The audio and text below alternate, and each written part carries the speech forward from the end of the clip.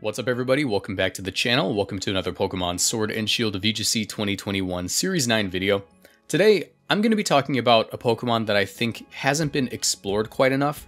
Now, you might be thinking like, Marcos, Silvally's trash in the format, Silvally's never been a good VGC Pokemon. And I'll say, true, Silvally has never really been like a really, really good VGC Pokemon. However, I think that's partially due to people being stuck on one particular set, and that set is on screen but I'll be getting into that in a moment. If you guys enjoyed this video at any point in time, do me a favor, leave a like on it, subscribe to the channel, and turn on notifications because I bring you daily Pokemon Sword and Shield content. And answer my comment question of the day, how would you run Silvally in this format, and who would you run it next to? I really appreciate your feedback.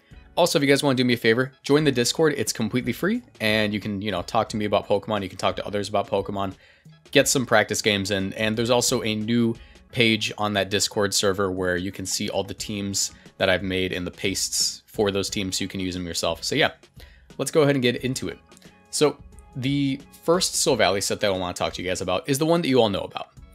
And I want to preface this. This video isn't about like, oh, Silvally is like the greatest Pokemon ever. This is a video about like, hey, I think we should be trying out different things when it comes to Silvally. Since it has so many options with it, I think that being stuck on Choice Scarf Boom is just not a good idea.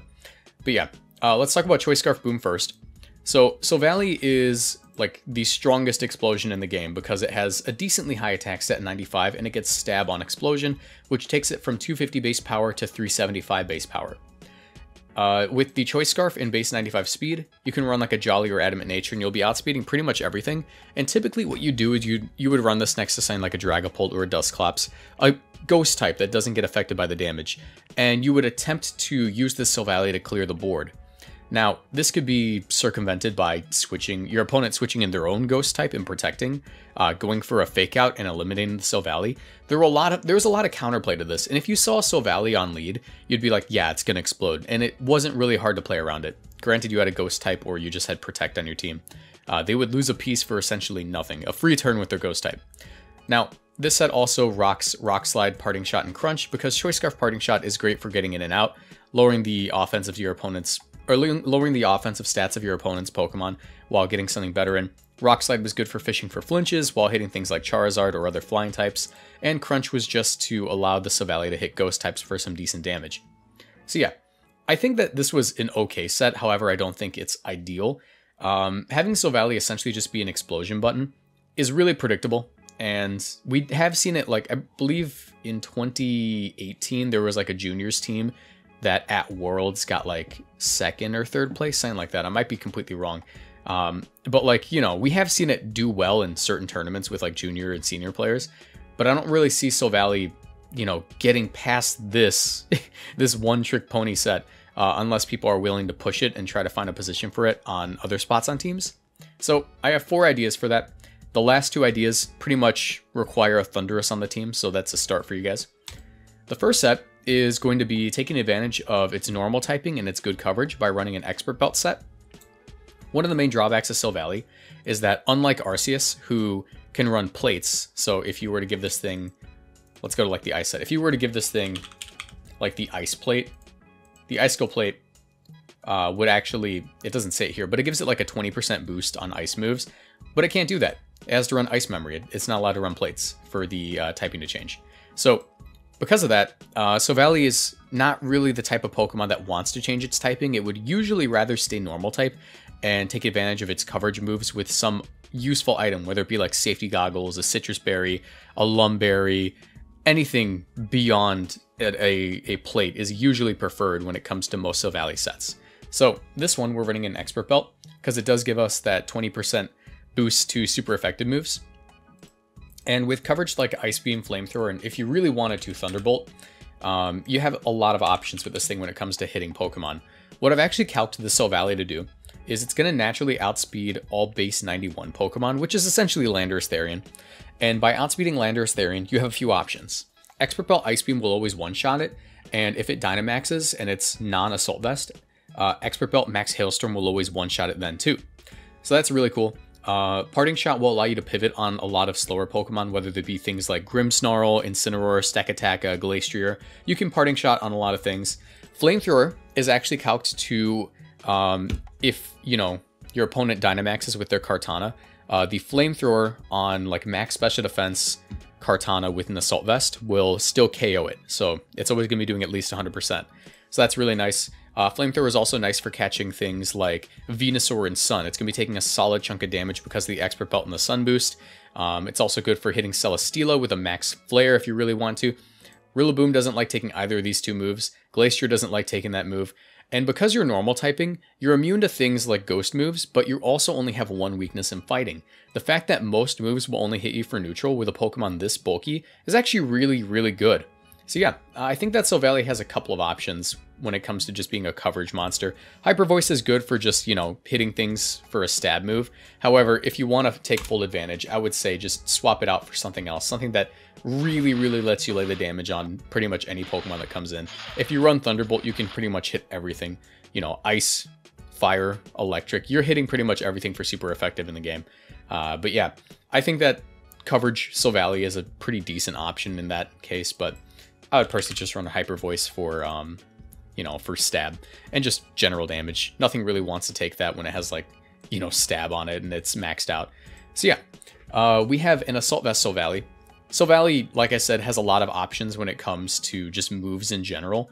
You can see it has things like Iron Defense, it has Flash Cannon, it's got Substitute, well, most things have Substitute.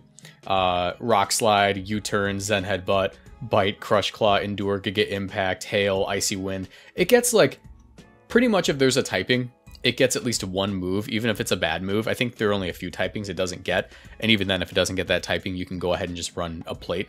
Um, but because it has such a wide variety of options, it does have these pretty nice support moves. Snarl and Icy Wind are pretty much what you're going to want to be running on this. Snarl being able to lower the special attack stat of anything that it hits, whether it be a Venusaur, whether it be a Tapu Fini, or any really powerful special attacker, it's going to be able to tank a hit from them because of its naturally high bulk um, and its decently high speed. Like, it's going to outspeed most Pokemon, meaning that the Snarl will likely go first. And because it's so fast, uh, you're going to be able to run Icy Wind to slow the opponent's Pokemon, and possibly with dynamic speed mechanics allow your Pokemon to outspeed it on that turn. U-turn is good for positioning, or for repositioning your Silvally. Um, I would prefer if I could run Parting Shot on this thing because that's just ideal. However, with the Assault Vest, you're not able to do that. Maybe if you ran like a Figgy Berry, you could run Parting Shot. Uh, but yeah, these two moves are generally the bread and butter of this set. Hyper Voice is just a cover, not coverage, it's just a stab move to uh, hit things for some decent damage. You could even just completely get rid of the special attack stat and dump it into special defense, and it would turn out pretty much fine. But yeah, uh, I think Silvally as a coverage Pokemon is great, but I think Silvally as a support Pokemon is just a little bit less viable, but still somewhat useful for some teams. So yeah. Next up, we have the two offensive Silvallies that actually change their typings. And like I said, this is pretty much going to require require like a Thundurus next to it uh, because of Thundurus' access to Max Airstream and its access to Defiant, which will dissuade people from leading off with Incineroar and intimidating it. So yeah, Silvally Ice. Silvally Ice is actually really interesting in that um, having access to a completely accurate high base power uh, ice move is something that really only uh, Calyrex Ice had with Glacial Lance. However, this isn't quite as strong, but just the fact that it's base 120 and able to hit 100% accurate is nice. You know, you don't have to risk Icicle Crashes missing or Icicle Spears not hitting quite enough. So yeah, um, multi-attack turning into that is kind of nice because it's base 120. You're going to be able to hit a lot of things in the format. You're going to be able to hit uh, Landorus Therian, Rillaboom, uh, Dragapult, Venusaur, Thundurus, Zapdos. There are a lot of really powerful flying types in this format that don't want to take something so powerful. And they'd really only be able to take it really well if it were intimidated, which if you run a Thundurus next to this thing, you're going to be able to dissuade them from doing that.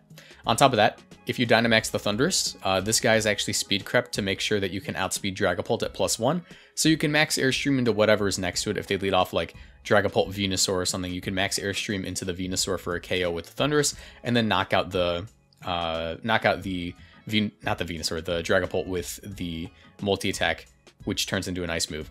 Also, if you want a little bit extra power, what I did is I made this set a Jolly set. However, you could swap around the EVs. These guys have essentially the same, you know, speed stat. 143 at plus 1 will allow you to outspeed Dragapult. So if you want to make an Adamant Nature just for that extra boost in power, uh, that isn't a terrible idea. You just lose out on some of the bulk that it would have otherwise. It goes from 175 HP uh, to 188 HP if you run a Jolly Nature. Now, you're going to be wanting to run something like Rock Slide to make sure you're not completely helpless in the face of an Incineroar in case it does manage to get in on you and your Thundurus goes down. And U-Turn is just generally a good move for uh, getting in and out on the field. You could swap out for Parting Shot or something, but I think I prefer to run U-Turn in this set just because we're already maxing out the attack stat. The damage wouldn't be terrible, even if it's just a little bit of chip. Next up, we have the Fairy offensive set. Uh, I think that Silvally Fairy is probably the most viable offensive version of Silvally, funny enough, and that's just because the coverage means it's not helpless in the face of things like Nihilego or Venusaur. So, multi-attack as a Fairy move hits a lot of really important Pokemon that would usually be problematic for a team. So if we take a look at what's common in the format, uh, hitting something with a powerful physical Fairy move is something that's pretty much exclusive to, like, I don't know, a Azumarill right now. So you're going to be able to hit things like Urshifu, both the Urshifu, Grimmsnarl, Dragapult, Moltres Galar, and just so many Pokemon like Garchomp, like all the dragon types, Tyranitar if you see it, even though it's not as common anymore. You're going to be able to hit them with a physical, powerful uh, Max Fairy move. And on top of that, by Dynamaxing this thing and turning it into the uh, Max Starfall, you will also make it so your Silvally is immune to burns. And if you run it next to the Thundurus, you know, if they can't burn it and they can't intimidate it, Silvally is a little bit more difficult to deal with.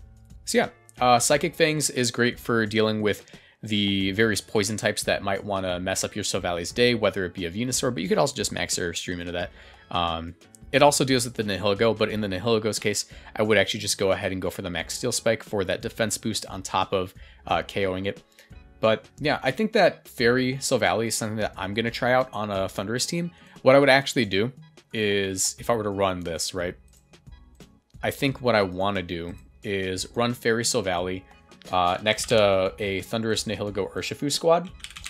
And even though that's like really doubling down on the, um, you know, the physical attackers, I think that by running it with this particular core, you already have like a really solid archetype there. What this essentially does is better, it, it helps out with your matchup versus opposing Urshifu, Thundurus, Nihilego squads because you're gonna be able, you're gonna be able to always deal with the Urshifu. Uh, you're gonna be able to deal with the Nihilego to an extent. If you max Airstream, you can outspeed Nihilego and then just like Iron Headed or Psychic Fangs it, whichever one does more, I believe Psychic Fangs. And probably knock it out because Nihilego's physical defense isn't very good. So yeah, uh, it somewhat it somewhat improves that matchup, which is pretty nice. But let me know what you guys think in the comment section down below. This was more me just getting my ideas out for Silvally. How would you use it? Are you going to use it? Let me know. But yeah, with that, I'm going to call it. Have a nice night, and I'll see you guys in the next video. Bye.